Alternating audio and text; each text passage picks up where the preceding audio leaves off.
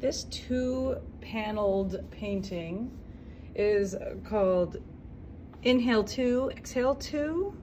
I made these when I was living in Italy at the Art Monastery in this tiny little village up in the mountains.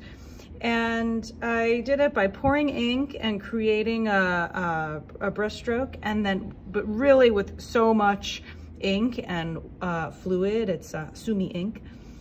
And I put the other piece on top and lifted it off. So it created a kind of monoprint painting. So these are original painting prints, you could say.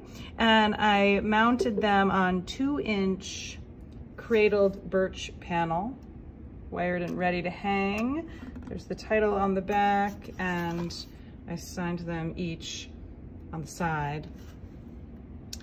And these are some of the first paintings that I mounted on panel and I was uh, not as skilled at it. So it is these, we've got a few little raised bubbles here um, on this one piece. So because of that, I'm offering this pair at 50% off. They're still beautiful pieces. This effect is um, not so distracting that it um, takes away from the beauty of the piece.